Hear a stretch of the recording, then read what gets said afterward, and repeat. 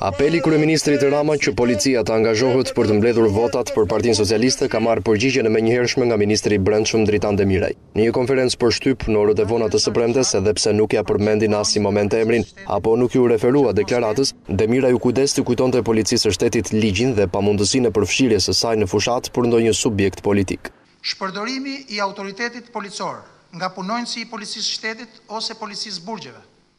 për të influencuar në mbështetjen e një partie politike ose kandidati në zgjedhje, për të influencuar, nëpërmjet mos-ushtrimit të funksionit me paanësi sipas ligjit, pjesëmarrjes në veprimtari politike të një partie politike ose kandidati në zgjedhje, me kryerjen e çdo veprimi ose dhënien e urdhrave, këshillave apo çdo lloj tjetër propagande që favorizon një parti politike ose kandidat në zgjedhje,